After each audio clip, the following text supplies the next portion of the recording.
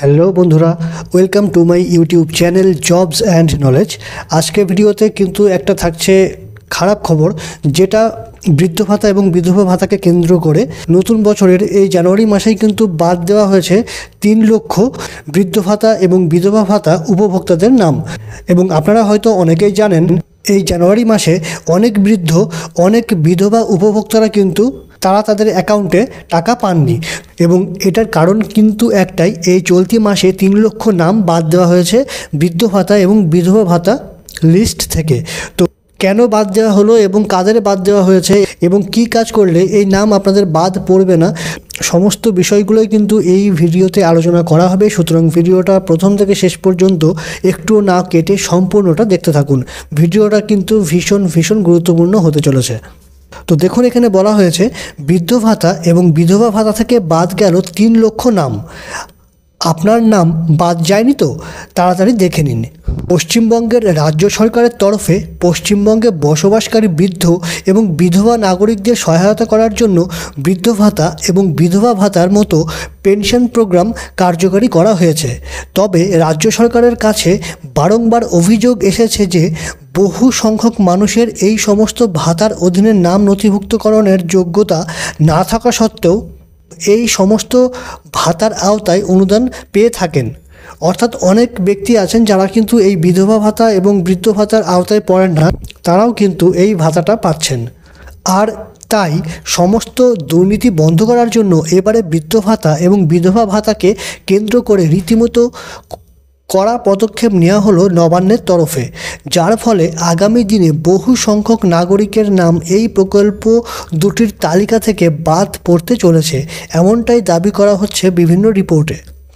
ইতিপূর্বে রাজ্য সরকারের কাছে বিধবা ভাতা এবং বার্ধক্য ভাতার যে সমস্ত অভিযোগ জমা পড়েছিল, সেই সমস্ত অভিযোগের পরিপ্রেক্ষিতে বিধবা ভাতা এবং বৃদ্ধ ভাতার অনুদান প্রাপকদের যাচাই করার প্রক্রিয়া কার্যকরী করা হয়েছিল। আর ইতিমধ্যেই বিভিন্ন রাজ্যের ব্লক প্রশাসনগুলির তরফে এই দুই প্রকল্পের আওতাভুক্ত নাগরিকদের তথ্য যাচাই করা শুরু করে দেওয়া হয়েছে। এর পাশাপাশি এও জানানো গিয়েছে যে, একজন ব্যক্তি যাতে একাধিক প্রকল্পের অধীনে অনুদানের টাকা না পায়, তা নিশ্চিত করতে এই প্রকল্পের আওতাভুক্ত নাগরিকদের আধার নম্বর আপলোডের দিকে অতিরিক্ত গুরুত্ব দেওয়া হয়েছে রাজ্য সরকারের তরফে। অর্থাৎ এখানে কিন্তু আর একটা বিষয় লক্ষণীয় যে, আপনারা কিন্তু বৃদ্ধ ভাতা এবং বিধবা ভাতা একসঙ্গে পাবেন না। এই দুটো অনুদানের মধ্যে থেকে যে কোনো একটা প্রকল্পের টাকা আপনারা পেতে পারেন।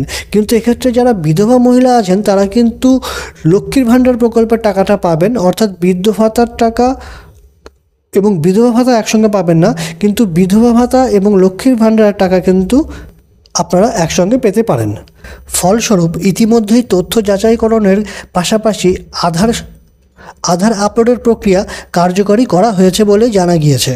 প্রাথমিকভাবে জানা গিয়েছে যে কেবলমাত্র প্রয়োজনশীল যোগ্য নাগরিকরা যাতে এই দুই প্রকল্পের আওতায় অনুদান পান, তা নিশ্চিত করার জন্য রাজ্য সরকারের তরফে রাজ্যের বিভিন্ন ব্লকে বসবাসকারী নাগরিকদের আধার নম্বর সংগ্রহের কাজ চলছে। এমনকি কাজের ক্ষেত্রে কতটা অগ্রগতি হচ্ছে সেদিকেও কড়া নজর রেখেছে রাজ্য সরকার। বিভিন্ন রিপোর্ট অনুসারে জানা গিয়েছে যে কেন্দ্রীয় পোর্টালে পশ্চিমবঙ্গে বসবাসকারী পাঁচ লক্ষ উপভোক্তার নাম এই দুই প্রকল্পের অধীনে অধিভুক্ত রয়েছে।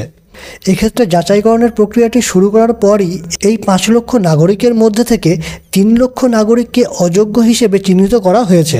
বিভিন্ন সূত্রের তরফে দাবি করা হয়েছে যে আগামী দিনে এই সমস্ত অনুদান প্রাপকরা বৃদ্ধ ভাতা এবং বিধবা ভাতার অধীনে অনুদান পাবেন না। পশ্চিমবঙ্গের রাজ্য সরকারের তরফে এখনও পর্যন্ত এ বিষয়ে কোনো তথ্য না জানালেও বিভিন্ন জেলার জেলা প্রশাসনগুলিকে এই যাচাইকরণ এবং আধার আপলোডের কাজ শেষ করার জন্য বারংবার নির্দেশ দেওয়া হয়েছে। যত দ্রুত সম্ভব কাজ শেষ করতে উদ্যোগে রাজ্য সরকার। সুতরাং আপনিও যদি এই দুটি প্রকল্পের কোনো একটির অধীনে অনুদান পেয়ে থাকেন, তবে আপনাকেও আপনার গ্রাম পঞ্চায়েতের অফিসে অথবা বিডিও অফিসে গিয়ে নিজের আধার কার্ডের সেলফ অ্যাটাস্টেড জেরক্স কপি জমা দিয়ে আসতে হবে। তো এই কাজটা কিন্তু বর্তমানে চলছে বিভিন্ন জেলাতে কিন্তু ডকুমেন্টস সংগ্রহ করা হচ্ছে। আশা করি আপনারাও যারা অনুদান পাচ্ছেন, তারা কিন্তু অবশ্যই আপনাদের নিকটবর্তী অফিসে গিয়ে এই সমস্ত ডকুমেন্টসগুলো জমা করবেন। অন্যথায় আপনাদেরও কিন্তু অ্যাকাউন্টে টাকা আসবে না। তবে ইতিমধ্যে যাদের অ্যাকাউন্টের সাথে আধার নম্বর যুক্ত করা রয়েছে, তাদের আলাদা করে আধার কার্ডের জেরক্স জমা দেওয়ার কোনো প্রয়োজন নেই। তবে যাদের অ্যাকাউন্টের সাথে আধার নম্বর যুক্ত নেই, তারা এই কাজটি না করলে তাদের অনুদানের টাকা বন্ধ হয়ে যেতে পারে বলে জানানো হয়েছে রাজ্য সরকারের তরফে। এমনকি যে সমস্ত ব্যক্তিদের ইতিমধ্যেই অনুদানের টাকা বন্ধ হয়ে গিয়েছে, তারাও নিজের আধার কার্ডের স্ব স্বাক্ষরিত কপি জমা করলে পুনরায় এই প্রকল্পের অধীনে অনুদান পাবেন।